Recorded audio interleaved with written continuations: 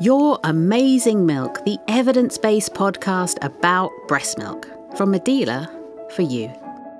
Maybe your life has just turned upside down because you've had a baby and you have lots of questions. Or you've heard that breastfeeding is good for babies and you just want to know more about it. I'm Katie, and in each episode, I talk about the processes going on in a woman's body, about the composition of breast milk and its effects, as well as tackling those myths and facts. Amazing, fascinating, and all backed up by science. In this episode, can a newborn baby crawl? What happens when there is skin contact? Can you still breastfeed after breast surgery? And is breast milk always the same? Hello, and welcome to episode two The Big Moment Birth and the first few hours. Let's start with the very first hour of your baby's life the magic hour. Your first hour with your new baby is unlike anything you've known before and it also offers you a unique opportunity to initiate breastfeeding. Because if your baby latches onto the breast in those first 60 minutes, it will trigger a chain reaction in your body so you can start feeding and protecting your newborn. While you were pregnant, your breasts were ready and waiting to feed your baby. But the pregnancy hormone progesterone stopped the hormone prolactin from allowing milk production to really get underway.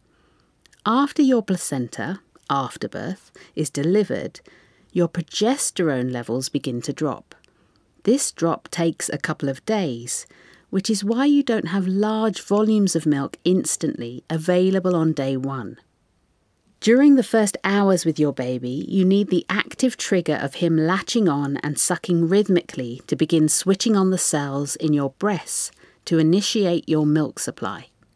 Skin to skin contact, the direct contact of your naked baby against your bare chest, helps release another hormone, oxytocin, which also aids both the initiation of your milk production and the delivery of small amounts of colostrum, your early milk to your baby. For the first hour after birth, the oxytocin levels of both you and your baby are startlingly high, and that window closes quickly. It seems as though oxytocin's role goes beyond releasing milk. Experts believe it may prime the brain for upcoming breastfeeding interaction. When skin to skin, you and your baby should feel calmer. Your baby will cry less and your pain threshold will increase. The levels of stress hormones will decrease for both of you too. There's lots more about oxytocin and colostrum later in this episode. If your birth hasn't gone to plan and you've had an emergency caesarean or some other unexpected intervention, it's still important to make the most of that first hour, with your baby latching on and having as much skin to skin contact with you as possible. If that's not practical, he could have skin to skin with your partner instead. If your baby's been taken to the neonatal intensive care unit, the NICU, you can still reproduce the sensations that trigger your milk supply. Be the baby by doing everything he would. Stimulate your breasts and nipples with your hands. Apply vacuum pressure to your breasts with a breast pump and be sure to collect your colostrum to feed to your baby. Why this is especially important for premature babies, you will learn in the next episode. But let's assume that your baby is ready to be with you right after birth. Something amazing can happen right away the breast crawl. Yes, that's right, your newborn can crawl, something he won't be able to do again for at least six months, or rather, he has an instinctive ability to etch his way across your body using his arms and legs to get to your nipple and latch on. Scientists believe he could be attracted by the smell of oils secreted from the Montgomery glands, the little bumps on your areola, the darker coloured skin around your nipple. It's thought babies have this amazing survival skill so they can feed as soon as possible after being born and there is more than one reason for that. Did you know Colostrum has a laxative effect. Colostrum, your first milk, acts like a laxative, helping your baby to do his first poo called meconium. Be prepared, meconium is black and sticky as it's made of the things he ingested while in the womb, such as amniotic fluid and mucus. However, Subsequent nappies should be much easier to deal with, as your baby's poos will turn green and then yellow over the next few days. And a bonus for you is they should smell sweeter than formula poos. From output to input. So your baby has reached the breast, and here comes the reward breast milk. The early milk your breasts produce is very different from that which your baby will need in as little as a week's time. Colostrum is a thick yellow liquid that is rich in nutrients and easy to digest. But it provides far more than food alone. In fact, some people think it's even more important for protecting your baby than for feeding him. It's packed with white blood cells called leukocytes that fight infection and activate your baby's natural defences. These actually account for 70% of the cells in your colostrum because your newborn needs lots of protection from life outside your body. And there are antibodies to protect against bacteria and viruses. One of these coats your baby's immature and permeable gut, which is susceptible to infection and disease. This reduces his risk of tummy upsets and diarrhea, as well as stopping harmful substances entering his bloodstream. There are also growth factors and hormones that will help him grow and develop, and minerals such as magnesium, which keeps bones strong and the heart rhythm steady, and zinc, which helps develop your baby's brain and supports his immune system. So, although it may not seem like much, the tiny amount of this protein packed liquid gold your breasts are making is just what your newborn needs. Occasionally, newborns don't get enough breast milk to hydrate and nourish them. The best way to tell whether your baby is getting enough is to look at his nappies. A typical newborn does one wee for each day of his life until about day three, when he should have about three wet nappies a day. From day five, he should have five or more wet, heavy nappies a day, along with at least two dirty nappies. Poos should change from meconium or green to loose and yellow by the end of day four at the latest. If your baby is not following this pattern, seek medical advice quickly. Don't be alarmed if your baby brings up milk coloured vomit after a feed. This is to be expected. However, seek medical advice if the vomit has orange, red, green, brown, or black in it, or he is projectile vomiting, has a high temperature, blood in his poo, a sunken fontanelle, which is the soft spot on his head, or is not back to his birth weight by two weeks of age. Let's go back to colostrum. Colostrum contains trace elements of minerals such as zinc, which your baby needs to grow, develop his brain, and support his immune system, and copper, needed for growth and to maintain many organs such as the heart and the brain.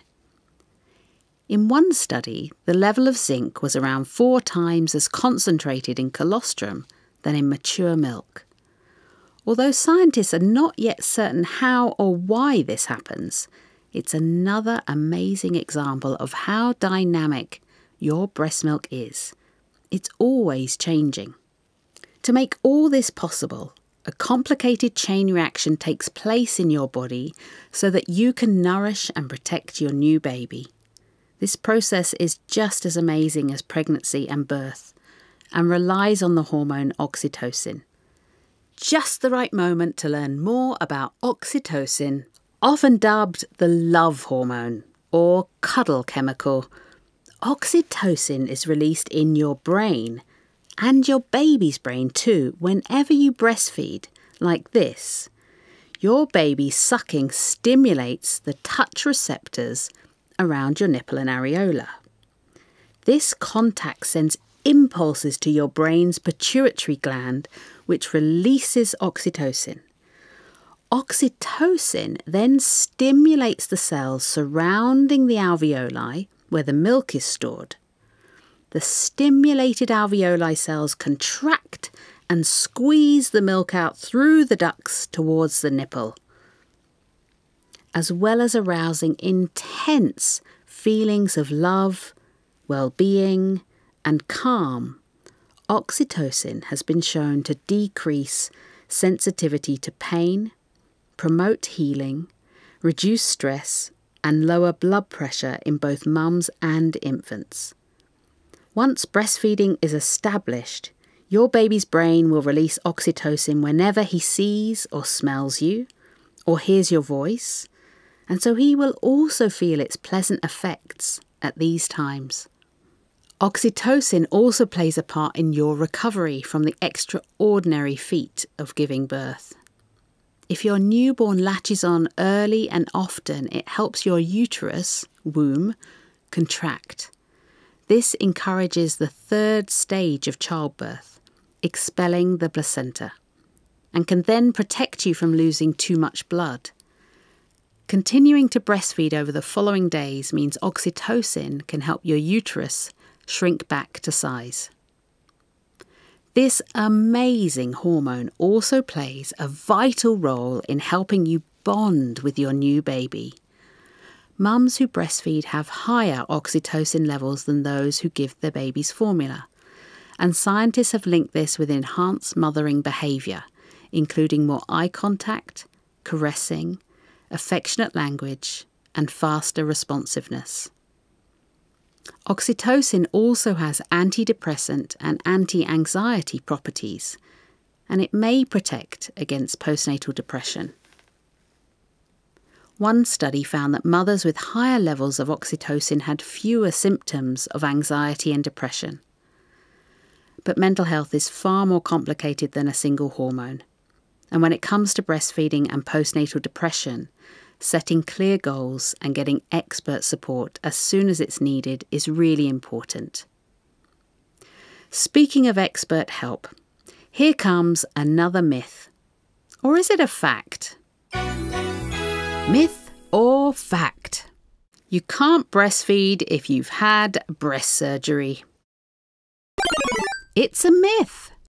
Many women can, but it depends on the type of surgery they've had. Silicone and saline implants are safe for breastfeeding, and surgeons often use techniques that cause minimal damage to breast glands, nerves, and milk ducts.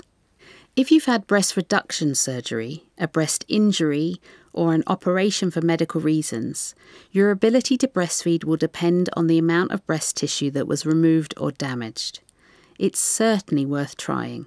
However, there's a chance your milk supply could be reduced, so keep a close eye on your baby's weight gain. You could also be more prone to engorgement and mastitis. If you have any concerns, speak to your doctor, lactation consultant, or breastfeeding specialist. We now come to the end of this episode. We hope you've enjoyed it. Thanks for being with us, and one more thing to take away just for you. A little reminder. Starting your baby off with colostrum provides him with something irreplaceable, even if you only breastfeed right at the beginning. In the next episode, you'll find out why your colostrum is even more important when your baby is premature. This was Your Amazing Milk the evidence based podcast about breast milk. From Medela, for you. The references to the studies used for this podcast can be found at medela.com forward slash ebook.